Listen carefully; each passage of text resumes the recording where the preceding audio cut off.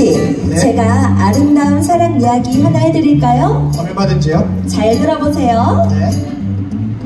항상 닫혀진 문 안에서 살던 제가 그댈 갑자기 만나게 됐죠. 오, 저도 같은 생각을 했어요. 왜냐면요, 항상 저의 자리 찾아 헤맸었죠. 즐거운 파티에 갈 때나 잘 보이면서 하지만 하지만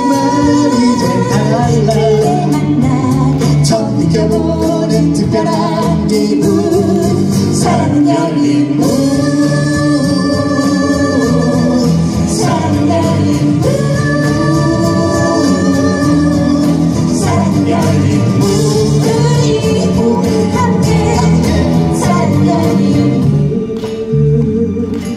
아, 준씨. 아 네. 제가 드릴 말씀이 있어요. 뭐죠? 그게 뭐냐면요.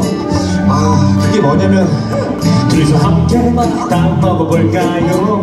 어, 나 그만하려고 했는데? 나고 비슷한 사람은 처음이야. 약속! 찌찌뽕! 생각하는 게 같다는 건 한마디로 운명이야. 우리 첫 생각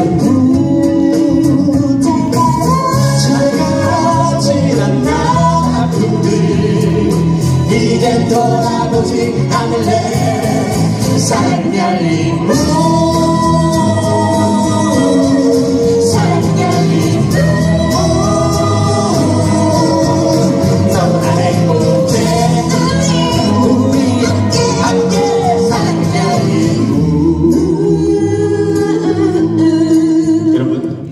하루도 아주 사랑스러운 하루가 되시길 바라겠습니다. 감사합니다